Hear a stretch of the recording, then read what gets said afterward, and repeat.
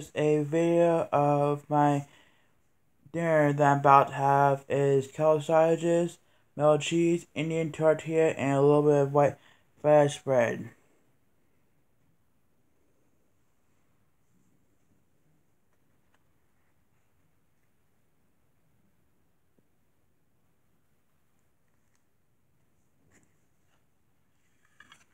Got my spoon right here.